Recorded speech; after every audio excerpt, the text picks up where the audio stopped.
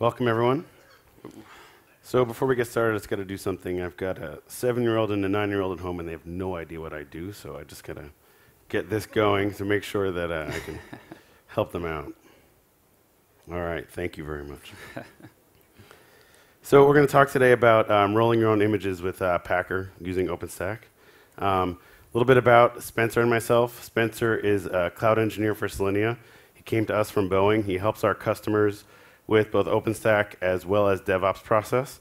Similar to some of the stuff we're doing here today. We've done what we're talking about today, we've done with uh, several of our customers in the field today. Um, I'm the VP of Operations for Solinea. Um, been working with OpenStack since about 2010. Uh, work with some of the largest public and private clouds around the world. So just a quick word from our sponsors. These are the nice folks of Solinea that brought us here today. Um, our focus is open infrastructure. We're purpose built around cloud computing. Our team comes out of the OpenStack community. OpenStack ex- experts have been contributing to the project basically since it started. We've got a proven delivery model, some differentiating IP, Goldstone, if you had an opportunity to stop by our booth earlier this week, um, to help people operate clouds at scale. And our team comes out of the cloud computing space, and we understand how enterprises take on this new type of infrastructure. A um, couple of customers, uh, we're working with Deutsche Börse in Germany, financial services space. We're headquartered in San Francisco. We've got office in uh, uh, Seoul, um, in the U.S., soon to be Japan as well. So, what are we going to talk about today? Image building is a pain, right? We all have to do it, maintain these images, get them through the environment. So, this is what Packer's about, and we'll give you a little bit of history and where it comes from. We'll get an introduction to templates, where we talk about how they're built and how they're constructed.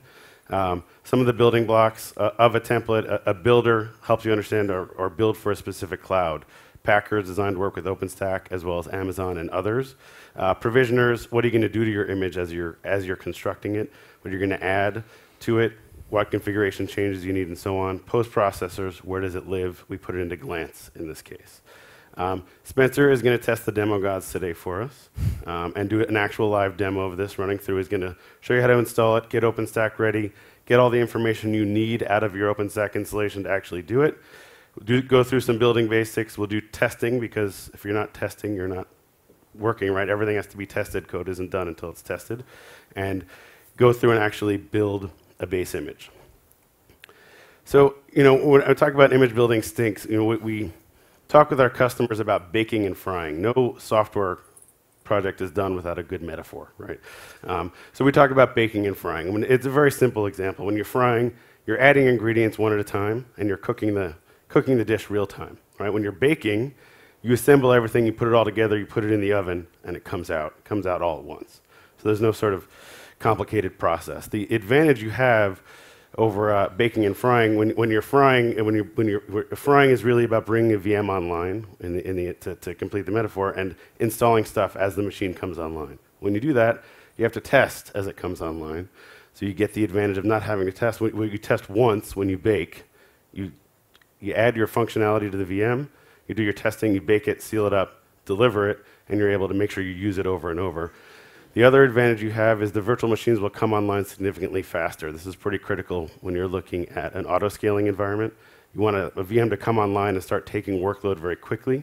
If you're not frying things into that VM as it comes online, that VM can come up and really take on that load much more quickly. So, you know, typically when you're, when you're looking at building an image, it's a collection of bash scripts. You hope they run. You, maybe you test them, maybe you don't. You put it out there, see what happens. Um, you know, base images tend to be different. They drift over time. The idea behind uh, Packer gives you that model of infrastructure as code. We all talk about it. This is a great way to codify your image building process. Take a Packer template, keep it in Git, version it. When it changes, you know when it changed. Git is good about telling you who changed it and how they changed it, and you're able to get that history of the virtual machine. You know, typically if you're just versioning a QCOW image, for example, they're much harder to version control, right? With the Packer code being in Git, you're really able to get that, get that going. And then you're wondering where your configuration management scripts live. Are they on a dev box? Are they on my laptop? Where does that live? And you want to make sure your virtual machines are spinning up the same way every time. And once you've baked in those configuration settings, you're really able to, to, to have that consistency in the environment. Um, the other problem when you sort of do this with, without these tools, and, and Spencer will show you all this, is great log output. So you can really see what has gone on here. You can use it. Some of our customers are using that as an audit process. What actually happened to this VM when it came online? Did the image get built correctly? Or you can really use it to get through the whole process. So what is Packer? Uh, probably a lot of people have used Vagrant before. Packer is developed by the same group at HashiCorp uh, to, to, to, bring this to market. Um, it automates the image creation process, a wide variety of clouds, not just OpenStack, but uh, it, will support VMware environments, it'll support Amazon Compute Engine, including also do Docker images. So you can actually have you know, version and control Docker images the same way. Um, the templates are easy to write and version control, and Spencer will show you that. You'll see the templates, they're really straightforward. And you can actually create several images at the same time. So if you are supporting a hybrid environment and need to output images for two, for two cloud infrastructures, you're able to do that with Packer as well. So you have that consistency. Know, we all talk about immutable infrastructure. How do you get there? This is it. You have that straight through path and everything sort of follows the right course. You, you, you know what your infrastructure looks like all the time. So just a quick intro to templates. They're JSON formatted, very straightforward. There's three major sections to them, and Spencer will show you how those work. There's builders, provisioners, and post processors, and you really just sort of, it's almost like a fill in the blanks, and you can use a lot of different tools. The example today that Spencer is going to show us is all about Ansible, you can use, you can use just about anything you need in that, in, in that location and sort of fill that out. And the post processor um, tells you where it's going to live. So with that, Spencer's going to start testing the demo gods for us and run through. Yeah, so first I'm going to uh, should talk a little bit about the different building blocks that Seth just mentioned. So uh, the first is builders, and that's going to be something that's required in your templates every time, right? You've got to have some cloud to build against, um, and it can be a multiple clouds at the same time, right? So can be a Docker image, uh, it can be an OpenStack VM, uh, Amazon, Google Compute Engine, VMware, uh, if you're doing that stuff. Um, and if you'll take a look at the code block on the right, this is going to be um, this is what I actually use to talk to our OpenStack cloud and our, our test cloud, right? So uh, there's some there's some things you have to know about your environment uh, going in, and I'll show you guys that in a second. Um, under that, you'll also see uh, a, a, Docker type, right? So you can base it off a Ubuntu image, export it as a tar, and then you know take it wherever you want. Uh, the second thing is going to be provisioner. So this is going to be our do stuff portion of our image bake. Um, Packer is going to log into our instance via SSH, and it's going to provision it the way that we tell it to. Uh, provisioners run in serial, one after the other, so you chain them together um, to do all your stuff in one go. Like I said, when we do our second example, you'll get a, a better idea of this. Uh, we're going to do several things. and so there's lots of options. Um, file uploads, shell scripts, uh, Ansible playbooks that we're going to use today. Uh, we're going to use all three of those. You'll see them. Um, but you can also do Chef, Puppet, Salt, whatever you've got going on. Um, and then this code block, so uh, just to give you guys a, a, snapshot of what provisioners look like inside of a template. So uh, the top one's just uploading a file to a known path. So I've got a tar, a tar archive, uh, give it a source locally, give it a destination, it plops it out there for me, right? Uh, and then we can act upon that. And then secondly, we can do a shell. Um, this is, I'm using the inline shell here. You can also, if you've got scripts already written, um, you can simply use those. Uh, but here I'm just doing an apt-get update and installing Ansible, right? And then finally, uh, post-processor. So this is, after your image bake is complete, what do you do with it? Um, you're not going to use it for OpenStack or Amazon, actually. Uh, there's nothing out, out there for post-processors to, to use. But if you're doing things like uh, VMware baking, right, you can register your image in vSphere. Uh, if you're using the VirtualBox builder, you can create vagrant files, uh, which is pretty interesting. Um, and then the example I've got here is uh, using, if I'm doing a Docker image, I can tag it um, with a version number of the repository and then push it to uh, the hub or a private registry that we're hosting internally.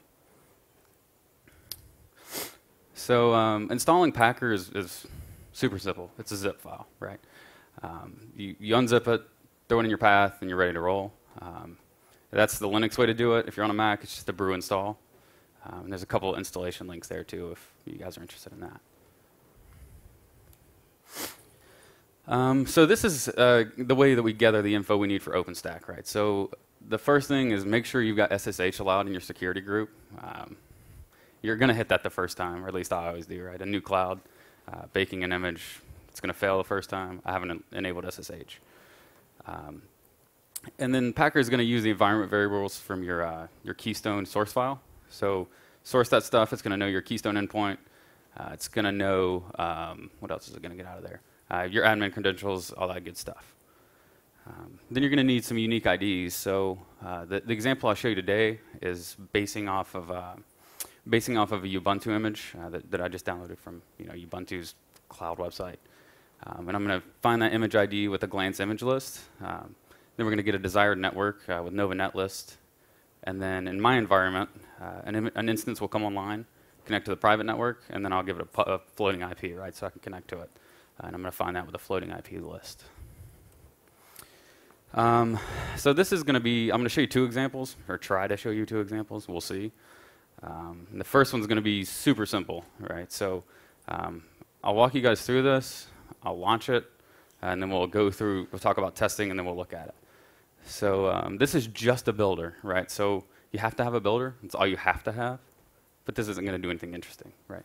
Um, it's going to launch an instance. It's going to give it an image name, and it's going to take a, a snapshot uh, and then it's going to tear down. That's pretty much it. So, uh, so I'll kick this off. Like I said, we'll, we'll see it. Um, we'll get familiar at least with the, the output, and then um, I'll, I'll talk about testing. So.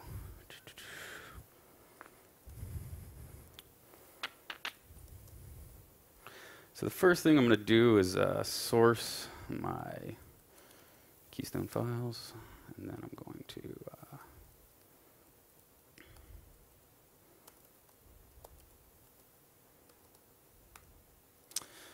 So I'll let that run in the background while we talk about testing a little bit. This one's really quick. Like I said, there's no provisioners. Um, it's going to be pretty simple. Um, so the first thing uh, when it comes to testing your templates is using Packer's built-in. So there's a Packer command called validate. Um, it's it's works pretty well. I haven't had any issues with it. Right? It's going to let you know uh, if there's things wrong with your JSON, something's formatted the wrong way, uh, if it expects anything to fail. So if it returns successfully, uh, you get the output we see in the code block there, and that's from the example one that I just built. Um, other ways to check JSON, there's a jsonlint.com tool. Um, I haven't used that that much for Packer, but it's out there. I've used it for other things. It's handy. Um, and then your provisioners, if you're going to test those guys, it depends on what provisioner you're using, right? If you're using bash scripts, that's different than testing chef cookbooks, Ansible playbooks. Um, testing bash is hard. Uh, but yeah, Ansible playbooks have a dry run built in, um, the dash dash check flag. It'll do a dry run and you know, test that for you. Um, and then finally, trial and error is helpful, right? So give it a shot. Build an image, see if it works, see if it performs the way you expect it to. Um, throw away the instance after you're done. Sorry, I keep going the wrong way there. So um, we can see we're finishing up here. Glance is creating our, taking our snapshot, but um, you can kind of see here uh, what's happening. So uh, OpenStack first is going to verify the flavor that I've passed in. Um, and that flavor is going to be a small, right? It's going to find that flavor, make sure it exists, and create a temporary key pair for us. And so Packer will create a, key pair and tear it down after it's done. So you don't have to mess with keys and all that good stuff. And then it's going to launch my server. So once my server is up and running, uh, the floating IP we talked about uh, gets attached. And then um, when you get to about here, you see we connected SSH and then we stopped. Right? We didn't give a provisioner, so there was nothing for it to do. Um, once it's up, SSH'd in, it's got nothing to do. So um, we can see that as far as output, it created this image, uh, Solinea example one, and then gave it a UUID, right? So um, if we head out to our OpenStack installation, I can see that it's been created, maybe. So there it is on the top. Um, it's, it's the one on the top. I've baked several images today in preparation, but, um, but it's going to be that guy right there. So, um, so it's, it's there and it exists. It's ready for use. And so what I'm going to do now, actually, I'm going to go back a slide, but I'm going to kick off the second example um, because it's much longer than the first one. We're actually going to do some provisioning, and I'll walk you through what we're going to do. So.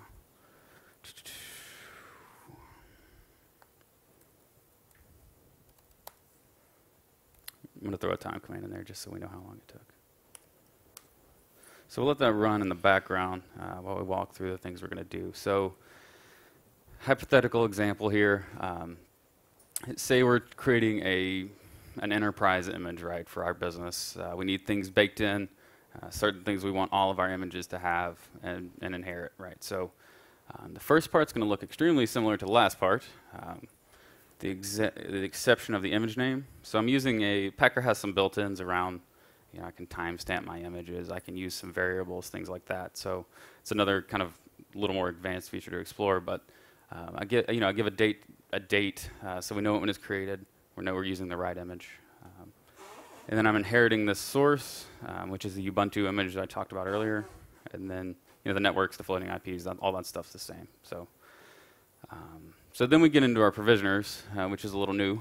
So uh, we do the file type. Um, and I'm going to take several different files and I'm going to put those into temp Ansible.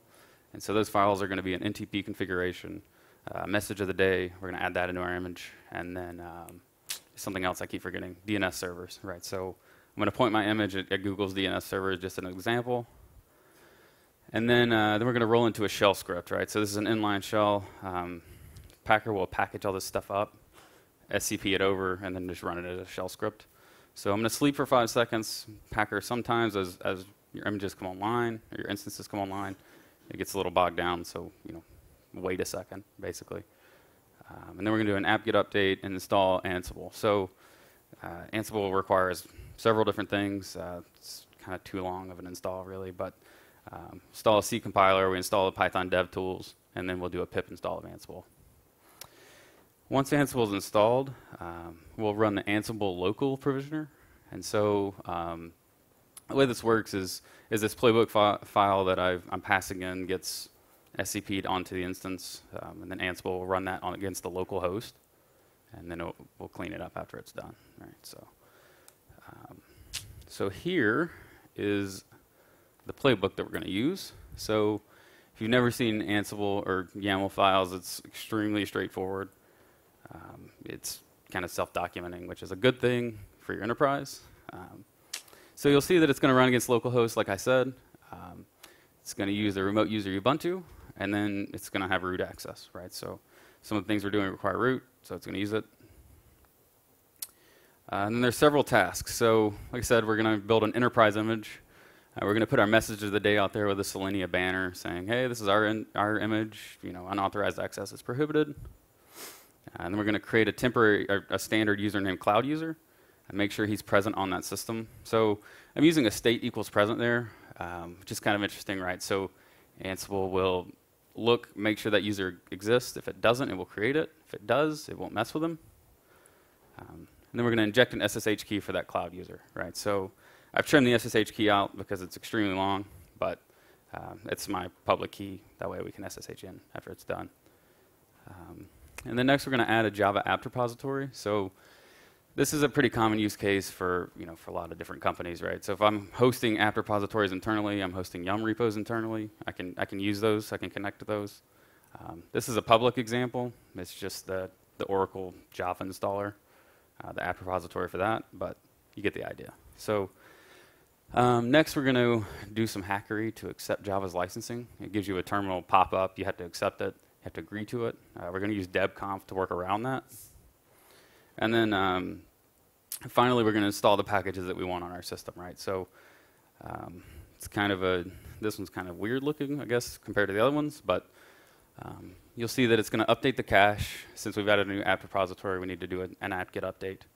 Um, and then it's going to iterate through those three items and install those packages for us, right? So NTP, uh, UFW, uncomplicated firewall, um, and then the Java 7 installer. So um, once that's done, we're going to lay down the files that we want to use. So I, I, talked about the, NTP conf file. Um, we'll give it a source of temp Ansible. If you remember from earlier, we put it out there the first thing, and then we're going to put it in the etcntp.conf directory. Right. Um, after that, we're going to um, update our resolve conf with our custom DNS servers. Like I said, these are just the Google servers. Um, but you know, if you've got your own, your internal, your your data center, you can use those. Um, and then finally, we're going to turn on our firewall, um, make sure it's enabled, make sure logging is turned on, and then we're going to allow port S the SSH port, and that's the only port we're going to allow through our firewall. So that said, um, let's see if it's done.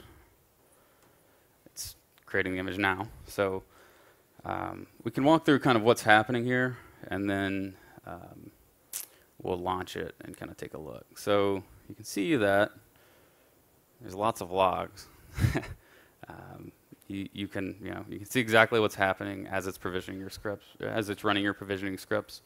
So there's that connected to SSH we talked about earlier. Um, sorry, there, and then uh, you can see that it goes through.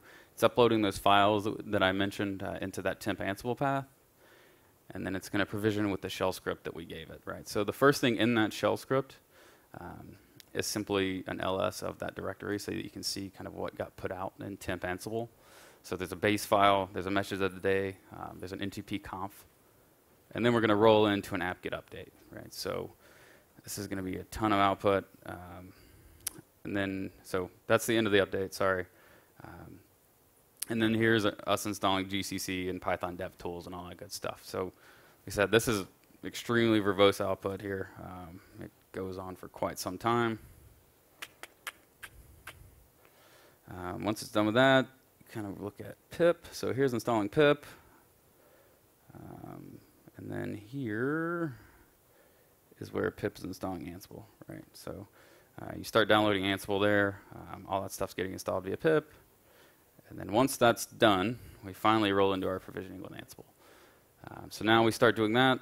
Uh, our playbook gets put into temp uh, Packer provisioner Ansible local. And then it, it runs that play playbook against the local host. So um, Ansible's output is really quite nice, right? It sees that you can see that here's what changed on the local host. Uh, it tells you if it didn't change, it'll just say OK, kind of like the gathering facts looks here. Um, but you can see all those things we just talked about, right? Message of the day, our user's been created, uh, our apt repository is installed, Java's installed. Here's uh, installing NTP UFW, and then laying down our configuration files. Um, once that's done, the server stopped.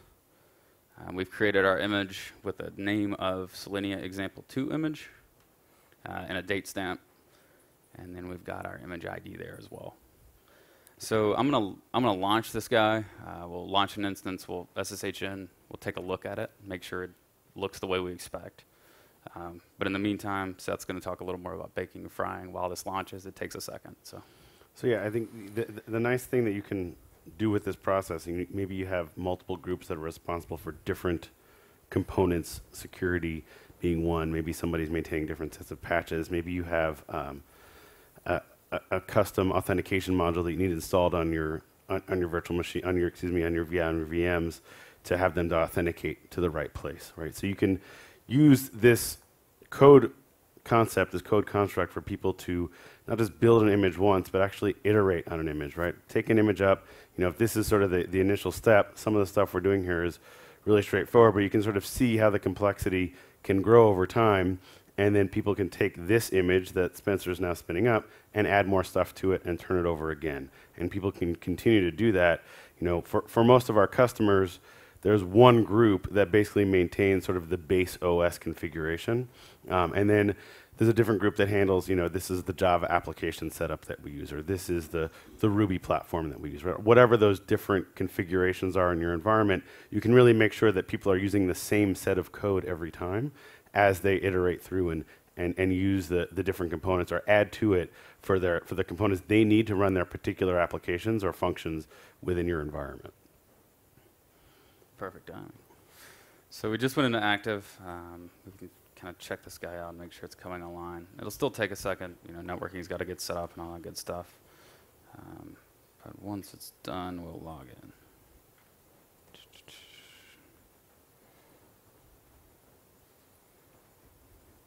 So I mean, the nice thing we've also seen with our with a lot of our customers, and a lot of times, the people that are maintaining images in an organization aren't necessarily uh, have a ton of software development experience the really nice thing about this process is it's very software centric, very uh, code centric, right? It, it's a good, it's a good, really straightforward way to get started for those groups.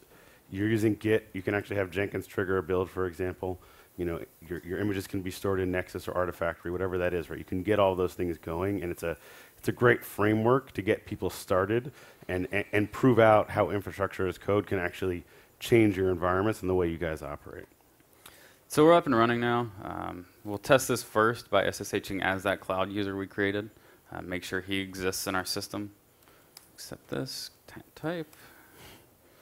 Um, once VPNs are fun, right?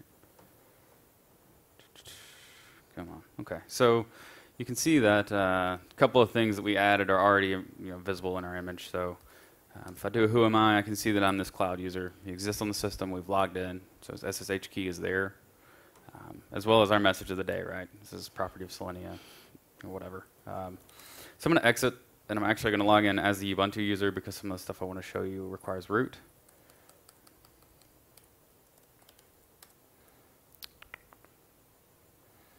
Um, so let's take a look at the things we added. Um, we can take a look, make sure Java got installed. Um, seems to be working as expected. So there it is. It's installed. It's the version we wanted. It's 1.7. Um, and then we can take a look at our NTP servers, make sure they're set up. Um, NTPQ uh, dash P is the print flag. Um, we can just see that our, our three servers that we added are there. Um, you know, our NTP is keeping in sync. Um, and then finally, we will do a sudo UFW status. You can see that our firewall is active. Uh, port 22 is allowed. It's the only thing allowed. It's what we wanted, right? So that seems to work as expected. Um, and we can review. Sure. So, you know, for every place we, we, we- work with, they always have some type of image building process and they want to be able to modernize it. And, in, th- the first thing we hear is, well, it's so hard, how can we change the way we're doing it, right? But the reality is, you sort of seeing the constructs here, they're fairly straightforward and you can see how they can scale out pretty easily. Packer is a great tool for this problem. It really gives getting people working in the same code base, same code framework is a great way to make sure that this is successful. And that, that, like I said, that example where you really have the ability to show uh, show people what infrastructure as code means, right? For for a lot of times in in, in some of the, the, the large IT departments we work with, they want it. They, they think they want it. They, they want it. They want to understand it. And this is a really great sort of uh, first way to do it. And then the ability to build multiple images at a time is extremely powerful because that will really keep you on track and making sure you're, you're using that straight through process. If you have to go back and forth too many times, you're not sure where you're going to get out at the end. So keeping that running for your environment is pretty powerful. So with that, we can throw it out to some questions. We start up here. We've got a we've got a Q&A mic apparently too. So if you guys want to, well, we can catch it on the video at least. Sure. Thank you. Um, uh, we have uh, seen you you can configure your um, uh, script uh, to build the image, um, but I didn't see how to test the, the image in a automatically way, not just uh, manually. You, uh, we, do we have any framework or um, So you're, so you're asking, once the image is created, how do I go about testing that automatically, right? Um, Packer doesn't provide you a way to do that, but you could certainly do that using you know, Jenkins to say, you know, a new image has been created, let's boot it, let's run these set of tests that we've written, right? So it's kind of on you, but you can definitely do that. thank you. Sure. Another question behind you. How do you manage your catalog of images once they've been built? Because it's sort of like we build an image and then the next day there's a security release for the kernel, and that image is no good anymore. So, you know, a, a lot of our customers do that differently. Packer specifically doesn't have the facility to catalog images. You know, you can use Glance and, um, and, and sort of track them that way. And, and, and if you're using your name correctly and that, the output there, you can use that as a, as a way to sort of manage that. There's uh, also different, you know, service catalogs that you can use inside an enterprise to, to show companies, to, to show people this is the latest image. Um, you know, the idea behind some of this, you know, if there's a latest patch, you know, you get a patch that comes out today, does it need to go in the environment right now? Well, if your environment's fully dynamic, you can take that new take that new image, publish it, and then everyone can quickly iterate and redeploy their applications, right? The idea behind this is to have the, this this full CI process where you can redeploy applications very quickly, right? And and having you know sort of this framework, you know, you know gets you that, and it, through through whatever the standard catalogs are today. Have you guys had any uh, problems with broken images on OpenStack? Like, uh, I've been I've been using uh, Packer with Amazon, which works pretty much flawlessly, um, and then on OpenStack, our cloud uh, continually end up with broken images, and I'm not sure if it's a Packer issue. Maybe it's a configuration Right. image, uh, configuration image, uh, configuration issue on our uh, platform. Right. Um, I, I haven't had a ton of the images being broken. I've hit some some of the builder being broken. You know, it's spe- specific versions of OpenStack and specific versions of Packer. There'll be show-stopping bugs. You've got to kind of resolve that one way or the other, right? You got to upgrade OpenStack or fall back to an older version of Packer where this worked, something like that. One of the things we've also seen a little bit is it, you know, this is, you know, for one of our customers actually booting an ISO to, to get this rolling, and that ISO was mounted across a wide area network, right? So those types of things, uh, you know, you might want to just check your environment for, right? Make sure it, Packer's moving around a lot of data. With Amazon, it's not, right? Because it's, it's spinning it all up in Amazon. You know, maybe you're pushing some packages out to it. But if you're booting from an ISO doing a kickstart, there's a lot of data moving around the network. So make sure all these systems are close enough to each other in, from a network pro- pro- proximity perspective to have the fast access that you need. A couple of things. First of all, thank you very much for coming out and doing this. It's nice to see some uh, real-world examples and the demo gods shine on you. So, I wanted to actually uh, provide a little feedback to the question on revisioning uh, Packer instances. Um, I simply use version tab and version number strings within the Packer image itself, and then I create an at job that captures a Packer log Thank you. afterwards and puts that into Git, so I can track everything that came out of Packer against the version number. So every time there's a change in the version number, you can uh, do a git pull on the log and, and look at what has actually changed. And that kind of goes back to your point early on for security audit purposes. You can see what's been uh, in the Packer image. Um, my questions for you are, um, I hate JSON. It's, it's a machine serialized language. It's not meant to be a human hand hammered configuration language, and it really annoys me.